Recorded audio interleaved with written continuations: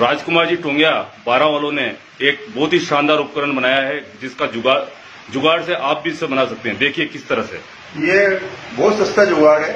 ये आपको मार्केट में ये ऑयल बनने का कुप्पी है, जो आपको मार्केट में पंद्रह से बीस रुपए में आराम से मिल जाएगा किसी भी जनरल स्टोर वालों के यहाँ, पानी भरने का। और एक एक गीजर का पाइप लेना है। जो दूसरा सादा पाइप होता है, वो गर्म भाव से लूज हो जाता है।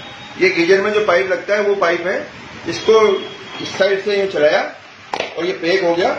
और एक कुकर को आप सीटी निकाल दो एक कुकर में ये लगाया। पानी भर दो। पानी भर के इसको लगाया। अब आप देखिए, ये स्टीम लेके लेके बताइए।